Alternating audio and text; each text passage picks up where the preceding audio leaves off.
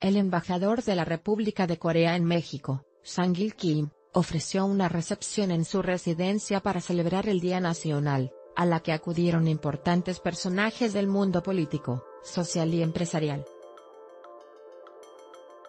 La ceremonia inició con la entonación de los himnos nacionales de ambas naciones.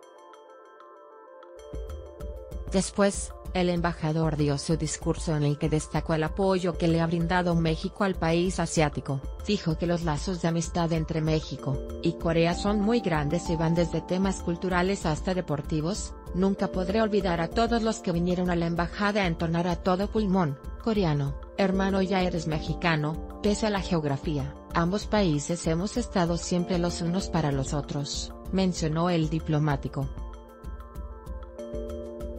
Posteriormente, se le otorgó un reconocimiento a Silvia Elena Giorguli Saucedo, directora del Colegio de México, Colmex, por la promoción de estudios sobre Corea en la institución a su cargo.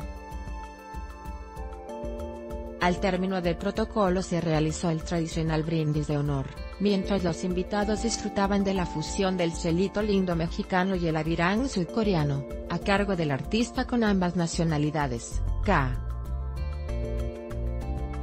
El Ejón, entre otras manifestaciones culturales con las que los invitados pudieron conocer de cerca un poco de las tradiciones y costumbres del país anfitrión. La República de Corea cuenta con siglos de historia a sus espaldas, su cultura y tradición ancestrales suponen un contraste profundo con todo tipo de avances tecnológicos.